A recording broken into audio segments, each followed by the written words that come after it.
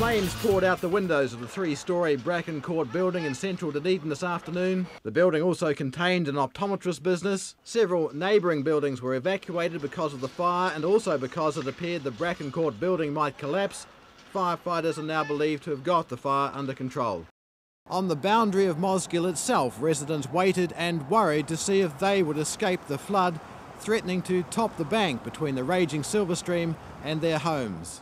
It's rained all night and uh, the build is just significant and I think high tide this afternoon is going to be, it's, it's nervous times actually, yeah. The Silver Stream is normally a trickle, but after almost two days of continuous heavy rain along the Otago coast, it had spread beyond its banks, claiming an unknown number of homes, as well as dairy sheds, sheep and cattle. The river took out the approach to one bridge.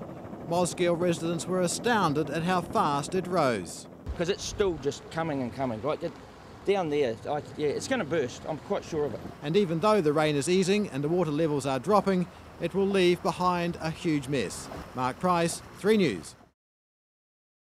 Hey guys, welcome to Saturday Disney! Good morning, hope your Saturday's getting off to a great start. Oh, make sure you get your cereal on toast. yeah, we have the fabulous show for you today. Recently I went up to Wellington and went to a Schools Schools concert, which is like the best. And if your school was in it, it's going to be on later on the Make show. sure you so keep an eye out. Keep watching.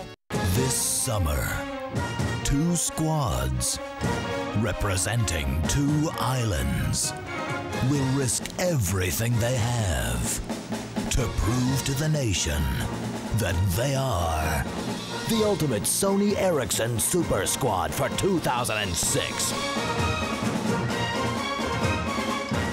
The Super Squad Grand Finals coming soon to a TV near you on Studio 2.